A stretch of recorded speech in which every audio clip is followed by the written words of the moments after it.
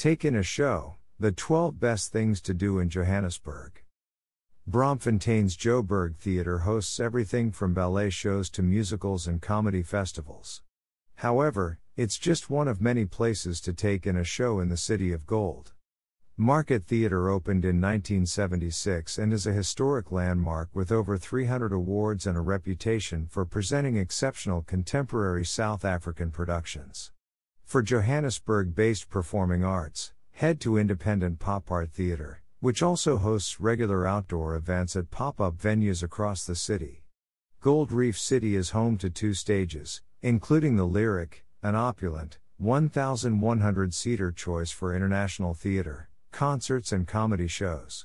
Johannesburg's most famous music venue, however, is the 3,500 capacity Big Top Arena, which has hosted the likes of James Blunt and the Pixies.